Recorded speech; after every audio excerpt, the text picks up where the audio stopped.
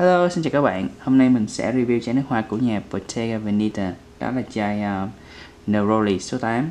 Thì chai này á, uh, giá tiền của nó rất là mắc các bạn, 100ml giá 310 đô. Nhóm nước hoa của nó là hương hoa. Hương đầu của nó gồm có tinh dầu lá cam nè. Rồi hương giữa của nó gồm có hạt cam Neroli với lại hoa cam Orange Blossom. Hương cuối của nó thì chỉ có hương gỗ thôi. Thì các bạn thấy á, cái kết cấu mùi hương của nó rất là đơn giản. Nó chỉ là uh, hoa chủ yếu là về mùi hoa cam lá cam rồi thôi. Và có một chút gỗ thì các bạn hình dung nó giống như là một cây cam vậy đó. Đó thì nó chỉ có không, không có mùi không có trái thôi. Nó chỉ có hoa lá với lại cây thôi. Đó.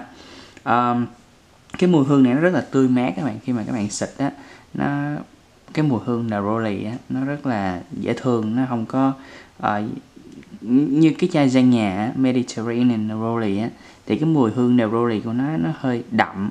Uh, cho nên á, khi mà ngửi á nó có cảm giác giống như là mùi nhựa mùi uh, giống như mùi mũ vậy đó.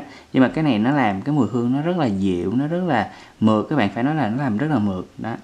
Uh, độ lưu hương của nó thì nó lưu hương cũng khá là lâu các bạn.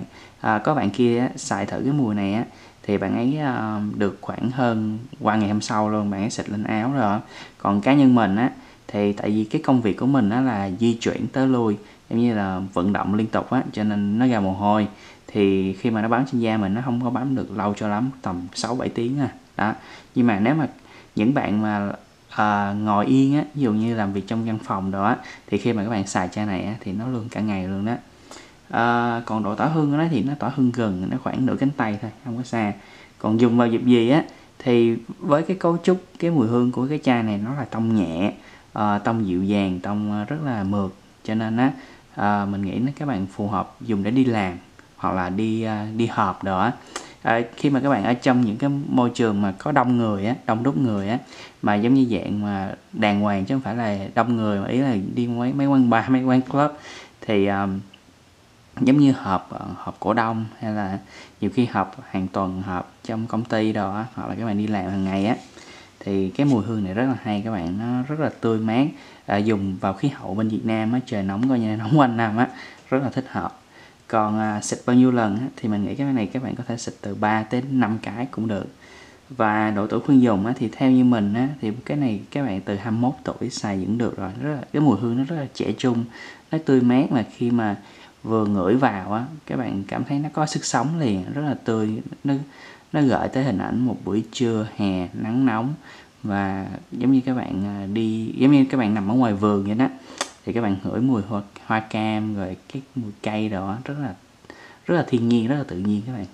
À, tính cách nó thì này unisex và mình có nói trong cái video mà khi mà mình vừa đi làm mình vừa ngửi á thì cái mùi hương này À, uh, unisex nhưng mà nó nghiêng về nữ một chút xíu nhưng mà không có quá nhiều. Nữ khoảng chừng à, 55% và nam là 45% à, về phần chấm điểm của nó thì giá tiền nó mình chấm nó 3 trên 5 thì cái chai này nó khá là mắc.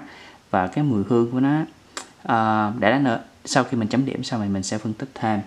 À, độ hấp dẫn của nó thì mình chấm 4 trên 5 thì thực sự mình rất là thích cái mùi này nhưng mà mình không có yêu nó. Đó. À, độ lưu hương của nó thì mình chấm nó 5 trên 5 lưu hương rất là tốt và độ tỏa hương của nó thì mình chấm 3 trên 5 thì nó tỏa hương rất là gần. Độ linh hoạt của nó thì mình chấm 4 trên 5 thì như mình đã nói là cái mùi hương này á nó dễ xài nhưng mà không không có phù hợp vào giống như là khi mà các bạn vận động liên tục như các bạn đi tập gym hoặc là các bạn uh, uh, chạy nhảy đó thì cái mùi hương này nó nó rất nó dễ phai. Và khi mà các bạn ngồi yên hay là làm làm làm việc trong văn phòng á không có vận động nhiều thì cái này nó bám rất là tốt. Nhưng mà đó thì nó giới hạn cái trường hợp sử dụng chút xíu thôi cho nên mình chấm nó 4 trên 5 thì tổng số điểm của chai này mình chấm nó 3,8 trên 5 điểm. Thì uh, để mình phân tích cái chai này cho các bạn dễ hình dung nha.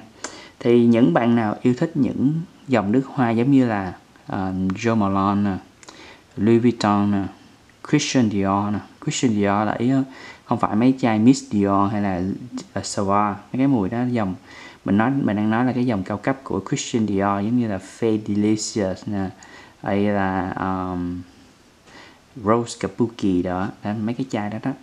Thì mấy bạn ấy sẽ thích cái mùi này tại vì nó rất là nhẹ. À và thêm gen nhà nữa. Nếu mà các bạn yêu thích gen nhà thì có thể các bạn sẽ thích uh, Bottega Veneta.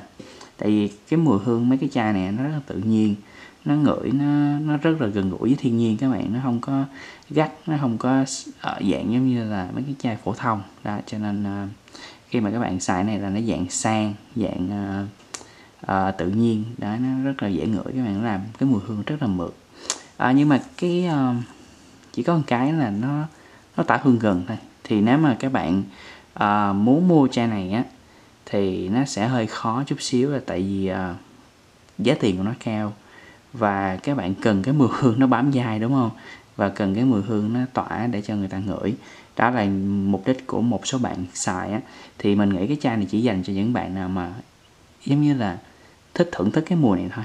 À, cái cái giống như cái cái chai này với cái dòng này nó cũng hơi à, kén người một chút xíu là tại vì uh, uh, nhu cầu của mỗi người á nó, nó rất là khác nhau. Uh, và mình mình theo như cá nhân mình thấy á, là uh, cái dòng này á nó không có thuộc dạng dành cho số đông. Nó chỉ dành cho những bạn giống như là một phần nhỏ nào đó thôi mà thôi. Thì theo theo như mình khảo sát á thì sau khi mình mình cho một số bạn sample á thì à, chỉ có khoảng hai hoặc là ba bạn góp ý với mình đó là cái mùi hương này nó hay thôi. À, mấy cái chai của nhà Bottega Veneta này nè. Đa phần còn lại á là mấy bạn ấy vờ luôn. Với miếng ngửi thì thấy ok nhưng mà họ không có thích họ không có ý định mua nữa. Các bạn hiểu không? Đó. Thì đó là những gì mà mình uh, thu mình thu hồi ý kiến của một số bạn. Giống như thường thường mình hay hỏi uh, những bạn mà các bạn trong Facebook của mình đó là uh, sau khi em xài cái đó thì em cảm thấy như thế nào? À, em có thích nó hay không? hay gì đó. Chủ yếu là mình khảo sát để mình chia sẻ với các bạn thôi. Đó chứ không có gì. À, ok thì thì coi như việc mình đã review cái chai này rồi thì nếu mà các bạn uh, yêu thích cái mùi hương neroli hoa cam đồ á tinh dầu lá cam á thì các bạn có việc thử cái chai này. Nó rất là đơn giản các bạn nhưng mà cái mùi hương nó làm rất là mượt và rất là dễ ngửi. Uh, nói chung là xài chơi thì được nhưng mà uh, mình mình nghĩ là sẽ rất là kiến người để mà mua chai này. Đó thì đó là chỉ là những gì mình suy nghĩ về cái chai này thôi. Ok uh, cảm ơn các bạn đã theo dõi. Chào tạm biệt.